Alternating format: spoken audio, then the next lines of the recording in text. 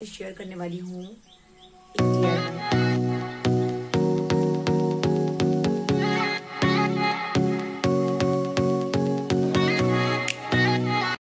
Hello friends welcome back to my channel आज की इस वीडियो में मैं आपके लिए लेके आई हूँ एक प्यारा सा DIY जो कि हम करेंगे घर में पड़ी हुई कांच की खाली बोतलों से। और साथ में अगर प्लास्टिक की बोतल्स हैं तो उनके साथ भी हम इन DIY को कर सकते हैं। तो मेरे साथ इस वीडियो में एंड तक बने रहिएगा और चलिए स्टार्ट करते हैं फिर इस वीडियो को।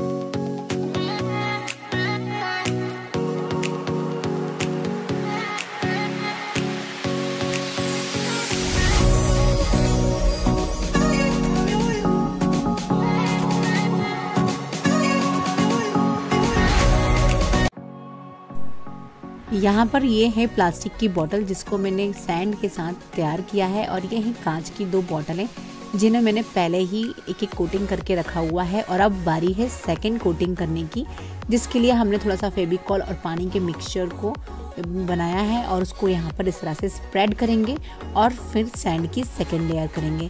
तो पहली लेयर सूखने के बाद ही आपको इसकी सेकेंड लेयर करनी है, नहीं तो इसका हाल हो जाना है ख़राब। तो इस बात का ध्यान रखते हुए पहली लेयरिंग को सुखाएँ और उसके बाद सेकेंड लेयरिंग करें। तो यहाँ पर देखिए, ये तीनों ही बॉटल मैंने सेकेंड लेयर कर दिया है इन तीनों के ऊपर। और ये काफ़ी अच्छे दिख रहे हैं, बहुत ही सुंदर लग रहे हैं। आप इनको अपने इंडोर डेकोरेशन के लिए इसी तरह से रख सकते हैं।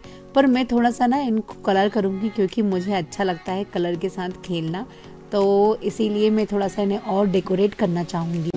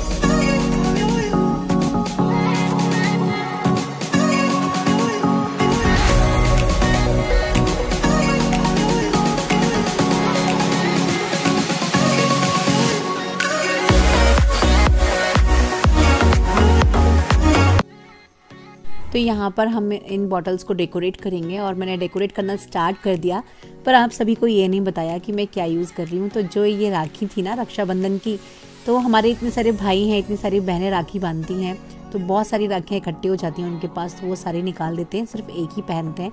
तो उन्हीं राखियों को मैंने कलेक्ट कर लिया और उनमें लगे हुए जो भी बीड्स थे, उन सभी का यूज़ मैं आज इन बॉटल्स को डेकोरेट करने में कर रही हूँ।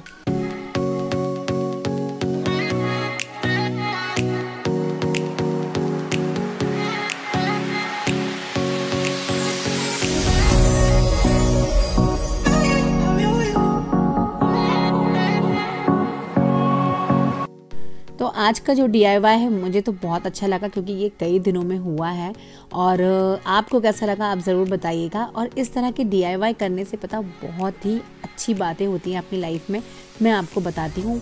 जब भी मैं इस तरह की डी करती हूँ तो मैं ना एक पॉजिटिविटी से भर जाती हूँ, मैं अपने आप को एक सोर्स बनाती हूँ पॉजिटिविटी का। क्योंकि क्या होता है, जब हमारे आजू बाजू की फालतू ख़राब चीज़ों को हम किस तरह से अच्छा बना सकते हैं, बेहतर यूज़ करने लायक बना सकते हैं तो हम अपने माइंड को एक पॉजिटिव वे की तरफ़ लगाते हैं। इसी तरह से ये हमारी लाइफ से भी जुड़े हैं। कि जब हमारी लाइफ में आजू बाजू बहुत सारी ख़राब चीज़ें आ जाती हैं तो उनमें से किस तरह से हैं, हम एक अच्छी चीज़ को पिक करके अपनी लाइफ को आगे की तरफ़ बढ़ा सकते हैं। तो जब भी मैं इस तरह के काम करती हूँ ना तो मुझे बहुत अच्छा लगता है और ये मुझे एक पॉजिटिव एनर्जी देते हैं। तो इसलिए मैं इन सबको करना पसंद करती हूँ। का डी आपको कैसा लगा, आप ज़रूर बताइएगा। अगर अच्छा लगे तो प्लीज़ लाइक कीजिएगा कमेंट करना नहीं भूलिएगा और मेरे चैनल को सब्सक्राइब ज़रूर कीजिएगा। Thank you